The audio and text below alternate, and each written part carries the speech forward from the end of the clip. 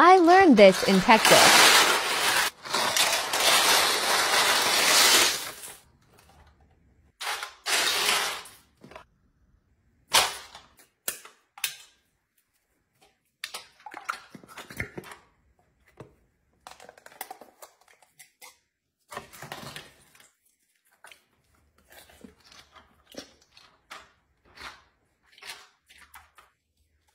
We need to add a little bit of milk because we're gonna need a liquid in here.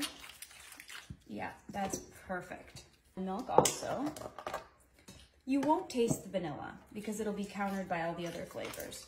You're just using really just a splash. Dijon mustard because we're gonna need some seasoning.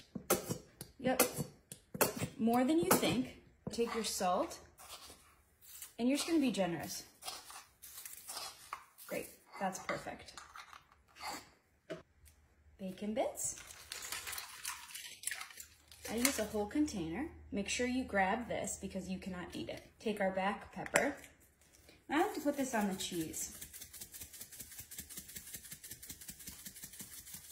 that looks great.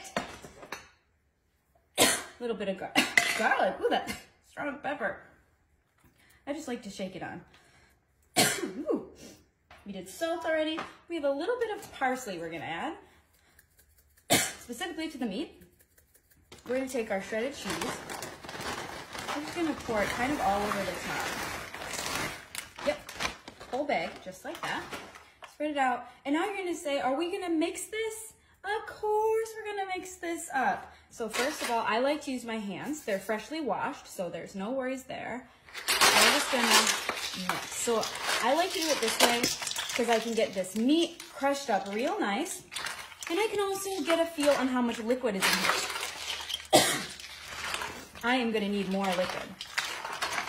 Okay, so this is good. I can see how mixed up we are. It also helps me get, you know, I get the sour cream everywhere, right? It's getting the sour cream everywhere. I can take this cream cheese and I can break it up into bits. So we're, we're not gonna fully get all of this stuff mixed in, but it really helps me mix it up just a bit.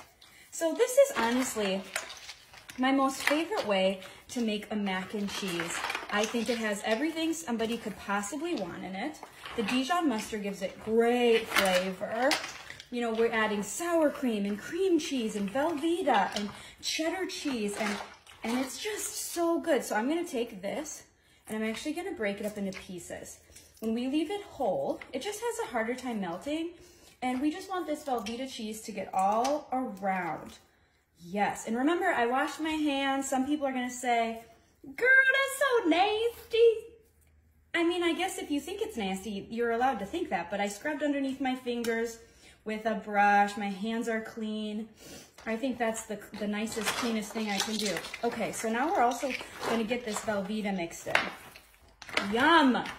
So I like to make this for a big family get-together.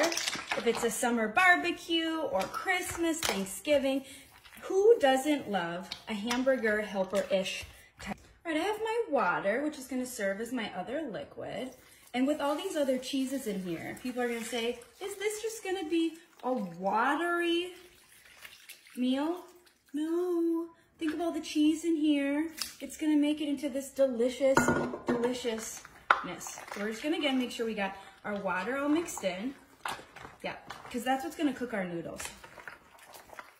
Brilliant. Cheese next. This just creates our top layer.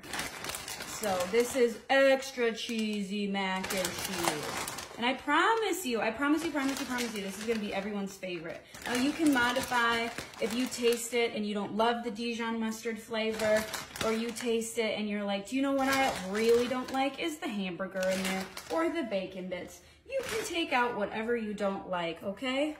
Okay,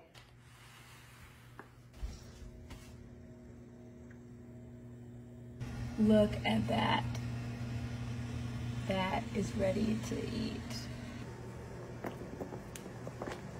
Okay.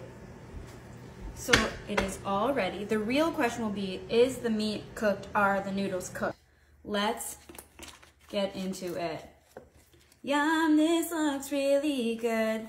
Now, if you have extra liquid, you don't want it, you can just simply drain that. Okay, let's get into it.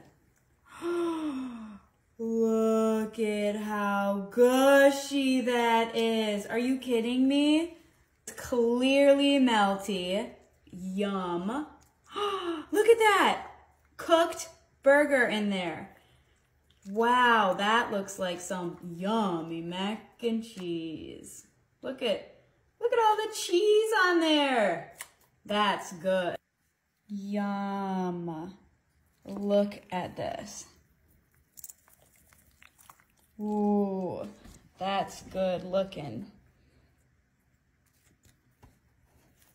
Look at this. Yeah. Oh, okay. Okay, so we probably need to put it back in the oven for a little bit.